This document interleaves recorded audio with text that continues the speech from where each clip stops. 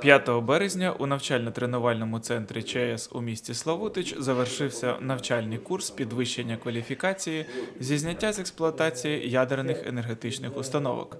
Двотижневий курс розроблений спільно Чорнобильською АЕС та Київським політехнічним інститутом.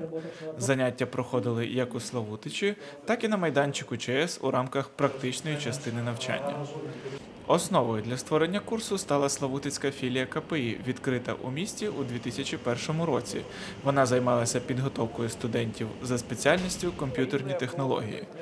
Курс є функціональним продовженням роботи філії, оскільки серед його викладачів та розробників є як спеціалісти практики зі станції, так і викладачі філії.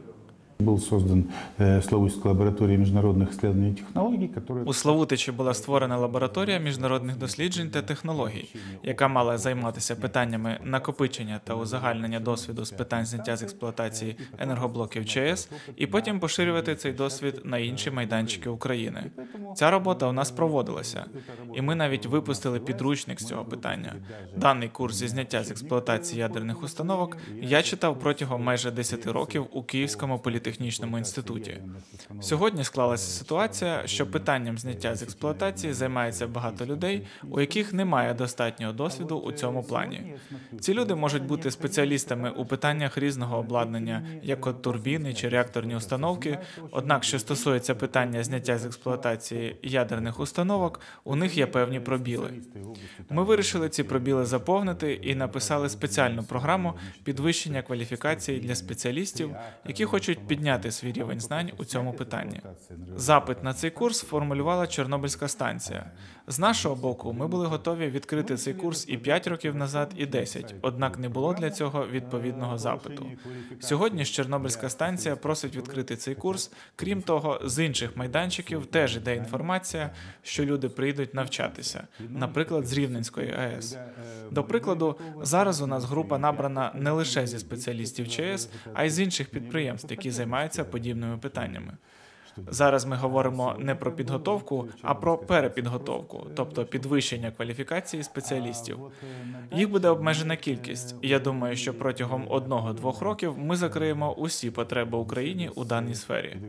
Щодо майбутнього, то були певні розмови та домовленості з керівництвом Київського політехнічного інституту про те, що на базі Славутицької філії ми відкриємо магістратуру з підготовки студентів конкретно з цього напрямку діяльності.